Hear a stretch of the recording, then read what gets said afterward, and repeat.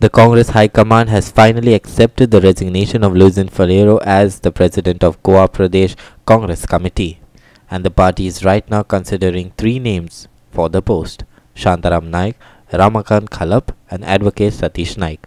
None of the Congress leaders are confirming it, but sources in the Congress House confirmed to Goa 365 that Navelim MLA Luizinho Faleiro and opposition leader Babu Kavlekar met Goa observer A. Chellakumar in New Delhi.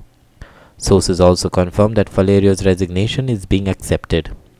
We contacted Chellakumar to confirm it, but perhaps he is waiting for Vice President Rahul Gandhi to formally accept it.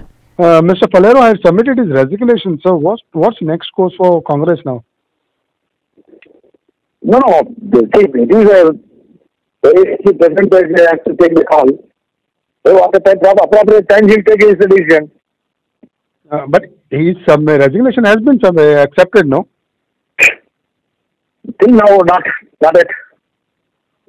Okay, so his resignation is not yet uh, accepted. Uh, not yet accepted. Sources have indicated that a formal announcement in this regard would be made this week along with the name of the new president.